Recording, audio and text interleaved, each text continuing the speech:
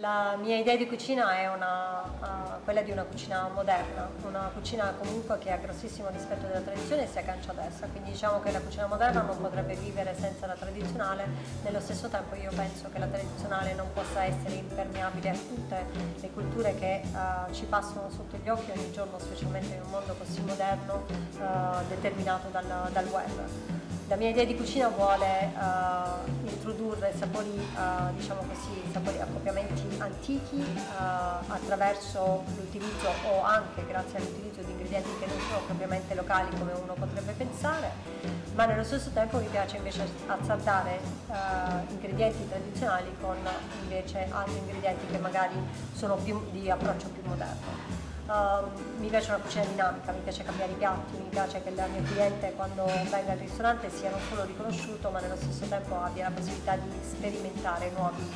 nuovi, nuovi piatti ogni volta. Se c'è un piatto che evoca uh, particolari ricordi della mia infanzia, diciamo che eh, innanzitutto uh, tutto ciò che è cibo per me è legato ad un concetto prussiano di Madeleine quindi il cibo che ci piace di più non è perché quel particolare piatto è fatto meglio degli altri oppure perché magari ha delle dire, caratteristiche particolari di, uh, migliori rispetto ad altri, semplicemente perché quel piatto ha toccato le nostre corde e quindi in realtà ci evoca uh, sensazioni, emozioni, memorie che sono molto diverse rispetto a quello che un piatto qualsiasi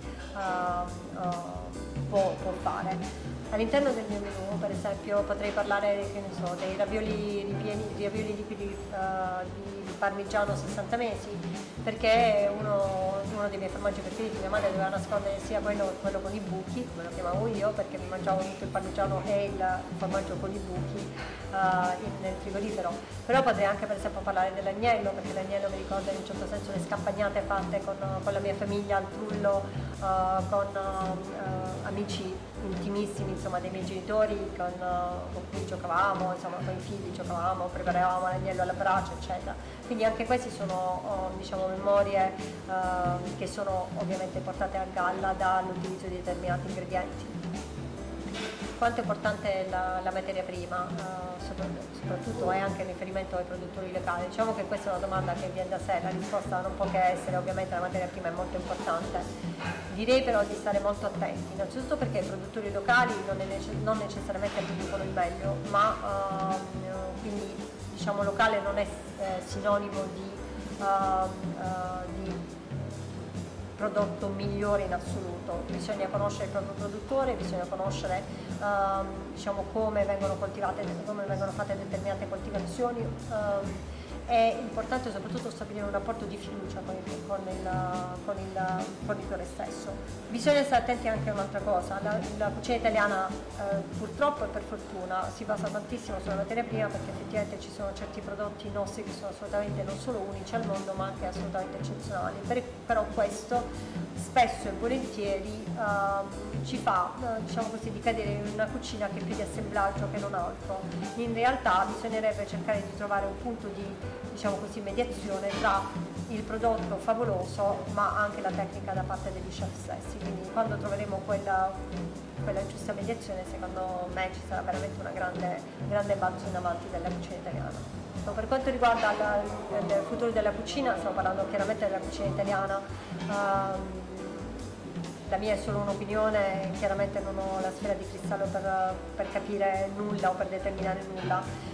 Io immagino che uh, il futuro della cucina sia sempre più legato ad un'esperienza, cioè l'andare fuori a cena non deve essere soltanto uno sfamarsi perché per quello ci saranno ristoranti, o meglio le trattorie, uh, le osterie che suppliranno praticamente alla, alla cucina di casa serie, stasera non voglio cucinare, vado a mangiare da qualche altra parte, per cui si tratta di cibo genuino, di cibo semplice e di cibo non troppo costoso. L'esperienza invece che si cerca sempre di più nei ristoranti di alta cucina eh, è, è, sempre più legata non soltanto al cibo ma anche all'esperienza in sé che può essere Uh, dallo show cooking dello chef o a uno show vero e proprio all'interno del ristorante all'utilizzo di uh, diciamo così a spettacolarizzare se vogliamo uh, proprio il, la, la, la cena in sé.